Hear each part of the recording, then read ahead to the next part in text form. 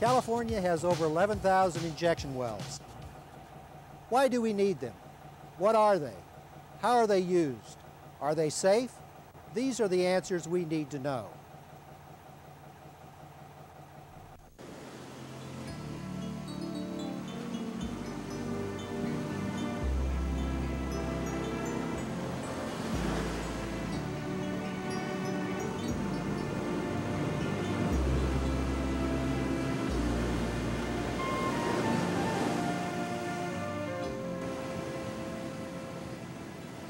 Producing oil and gas also means producing salt water, this remnant of ancient seas often trapped in oil and gas reservoirs. The amount of salt water produced each year from California oil and gas wells matches the freshwater needs of San Francisco. Disposing of the salt water is a major concern. In the early days, most of the water was simply dumped at the surface Today, safe disposal methods are used. For 40 years, much of the water has been returned underground through wells. These wells are called Class II injection wells. What is injected? Just salt and fresh water produced from oil and gas wells, oil and gas traces left in the water, and sometimes about a 1% amount of materials used in oil and gas production projects. What else is injected? Nothing. These wells are tailor-made for salt water. Other substances could ruin them. Plus, criminal and civil penalties are imposed for illegal injection. 10% of the wells are used for disposal alone.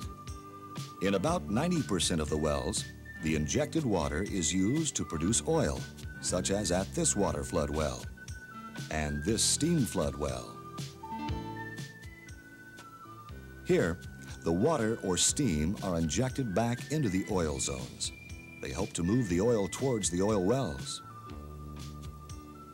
About 55% of California's oil is produced this way. Many types of rock beds lie beneath California. The more porous layers, like sandstone, often hold large amounts of liquid. The oil, gas, and salt water come from such beds. Finer grained layers, like shale, often cover the porous beds.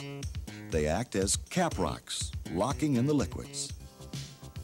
For every proposed Class II well site, the rock beds are studied, especially the porous sandstone zones being considered for injection and the shale cap rocks covering them. Class 2 injection occurs in sandstone zones, often at depths greater than 2,500 feet, far below the depths where most drinking water and irrigation water are found, and underneath impermeable cap rock. All injection zones are approved by the Environmental Protection Agency.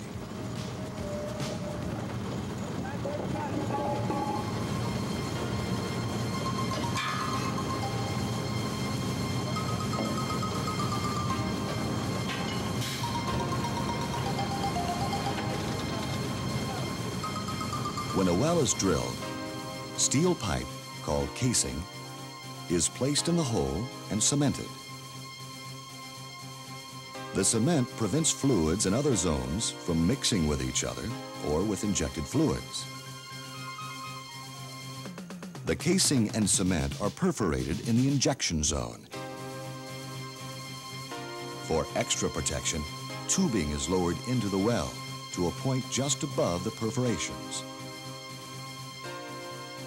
A packer is set near the bottom of the tubing as a seal.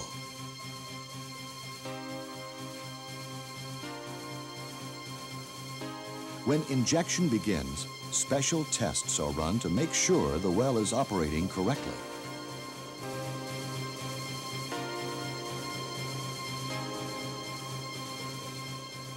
To ensure injection wells remain mechanically sound, Annual tests are made for disposal and water flood wells, and three-year tests for steam flood wells. What kinds of tests are run? Spinner, tracer, and temperature surveys. Test results and monthly well performance records are reviewed by engineers from the Department of Conservation's Division of Oil and Gas. Often, fluid samples are taken.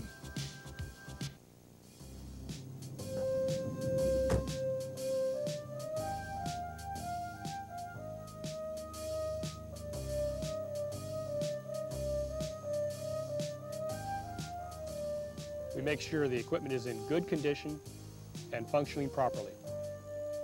We check the wellhead injection pressure and see that no on-site materials damage the environment or present a safety hazard.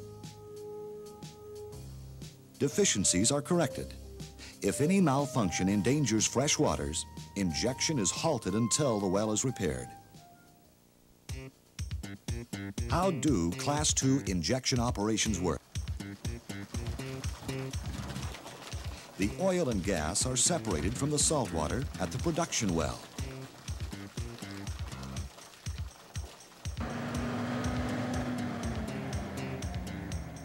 For disposal projects, the salt water is trucked or piped to a disposal well. There, the water is transferred into holding tanks and injected into a nearby well. For injection projects used to produce oil and gas, such as those near Coalinga, the produced salt water is delivered to a central oil field site. Sometimes it's heated or turned to steam.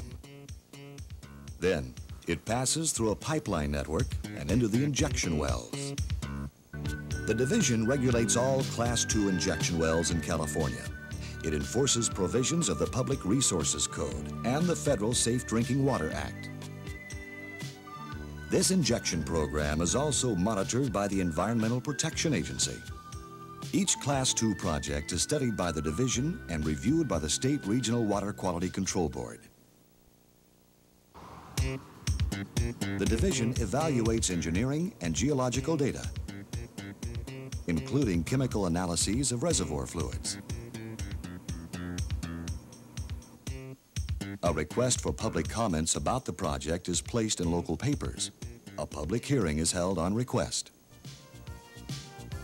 If the division issues a permit, it will include many conditions, such as approved injection zones and pressures and testing requirements. Class II injection wells are a safe way to dispose of the salt water produced with oil and gas. In California, the wells have an outstanding safety record. They protect our underground and surface environment.